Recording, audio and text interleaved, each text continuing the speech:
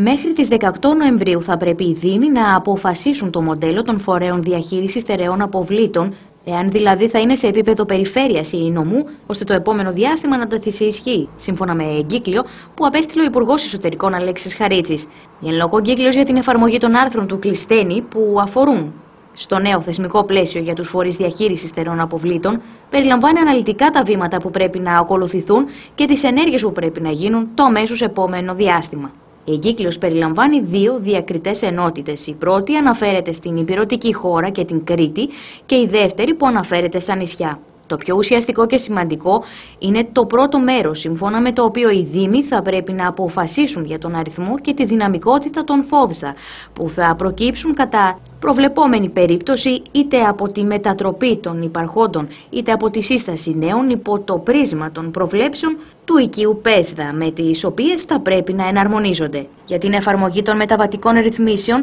οι αποφάσεις λαμβάνονται από τα Δημοτικά Συμβούλια και εν συνεχεία τα αρμόδια όργανα διοίκησης αναλόγως της νομικής μορφής κάθε φόδσδα λαμβάνουν τις κατά περίπτωση αποφάσεις για την υλοποίησή τους.